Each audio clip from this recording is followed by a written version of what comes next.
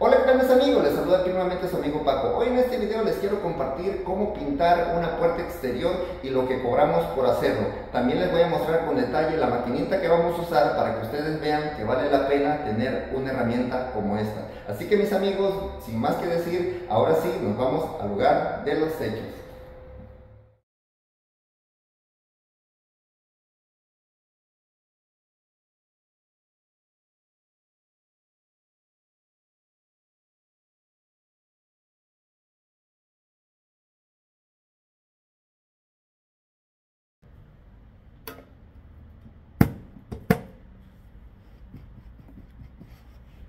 Se limpian en la alfombra. No, no es cierto, la vamos a cambiar.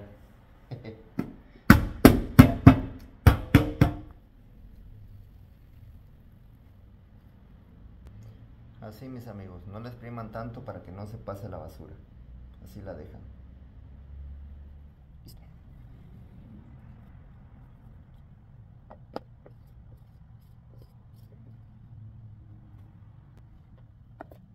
La probamos en la alfombra porque nos llamaron para pintar la alfombra.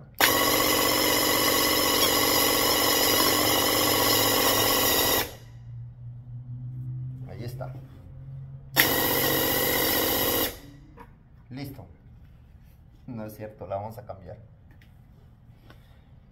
La tapamos mientras llegamos a nuestra área de trabajo y ya está lista. Seguimos. Y aquí les muestro este pequeño trabajo, mis amigos, ya que ese es el objetivo del video, de mostrarles lo práctico y sencillo que es realizar un pequeño trabajo como esto. Estoy muy satisfecho con la compra, la verdad le he exigido demasiado esta máquina y cada vez me convenzo más que vale la pena tener algo que nos facilite cada proyecto. Honestamente, muchas personas piensan que las máquinas grandes son mejores que estas, pero ¿para qué vas a llevar una máquina tan pesada? Algo que te va a tardar más en prepararla, que te va a hacer gastar más material. En lo que la persona está preparando su máquina grande, yo ya terminé de pintar la puerta. A eso es a lo que voy cuando recomiendo una herramienta. Siempre muestro los pros y los contras de cada producto, de cada herramienta, para que ustedes vean con hechos si vale la pena o no lo que estoy recomendando. Cada herramienta tiene su propia función y la verdad yo estoy muy satisfecho. La máquina quizá desde que la compré ya se ha pagado más de 20 veces. Ahí me gasté la mitad del botecito mis amigos. Es medio cuartito lo que me gasté. Entonces voy a esperar que se oríe un poquito y después le voy a dar la segunda capa para que no se vaya a escurrir y quede lo más grueso que se pueda. Por aquí les voy a dejar estos videos donde explico con detalle todo lo que se debe de hacer para evitar que la pintura se escurra cuando eres principiante y también lo que cobré. Entonces vamos a esperar y le vamos a pintar por el otro lado. Y aquí por este lado les comparto estos videos mis amigos donde muestro con detalle todo el proceso completo de lo que debes de aprender para usar la máquina correctamente, desde que la sacas de la caja hasta que la pones a trabajar. Échenle un vistazo a cada uno de ellos porque dejo mucha información importante de lo que debes y no debes de hacer para no descomponer la máquina y sobre todo para no provocar un incendio o un accidente ya que son máquinas que puedes usar con pintura a base de agua, aceite, lacquer, shellac, etc. Entonces échenle un vistazo mis amigos, ahí explico todo lo que debes de aprender para que el resultado sea un éxito.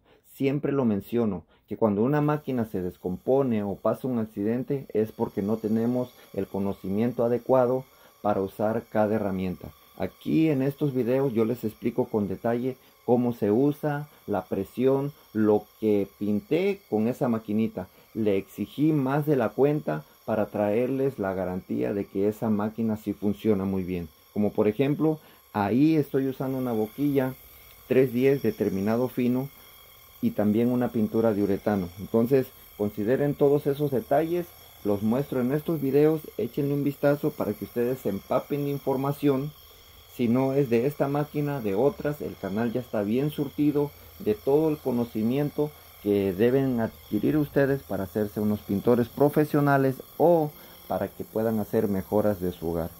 Siempre lo mío es con pruebas, dicen que vale más una imagen que mil palabras, así que consideren todo eso mis amigos, yo no me reservo nada y todo lo pongo a prueba. Pues bien mis amigos, ya terminamos de pintar la puerta, ahora la vamos a guardar, no la voy a lavar porque mañana la voy a volver a usar con la misma pintura. Entonces la ponemos en la bolsa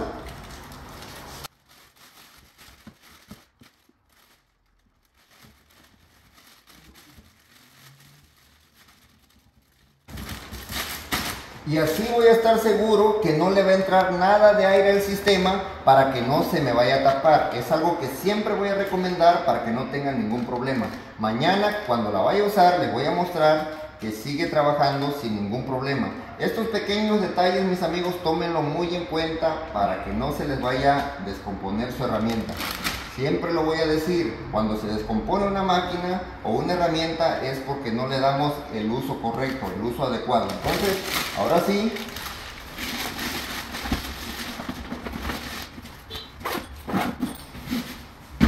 ahí está mis amigos. Eso es todo. ¡Córtale!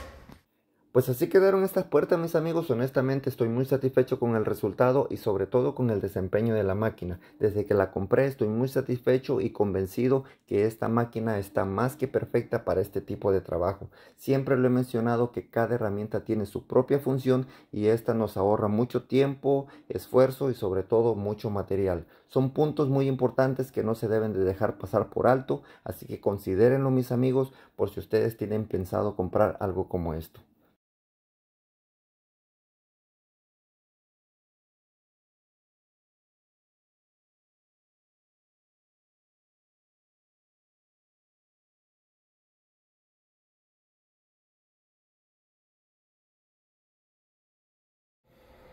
Pues ese fue el video del día de hoy mis amigos, espero que esta información les sea útil para sus futuros proyectos.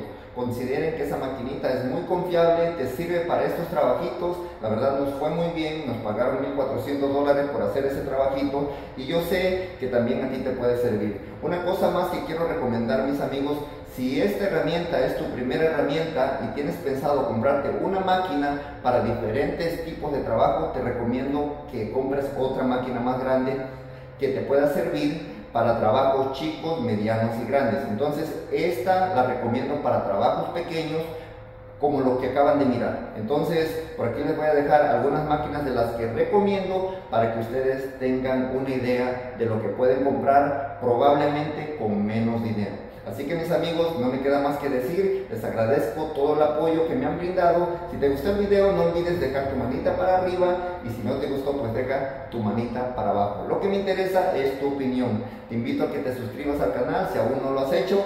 Nos vemos en el próximo video, mis amigos. Les mando un cordial saludo, un fuerte abrazo, un fuerte abrazo, cuídense mucho y que Dios me los bendiga.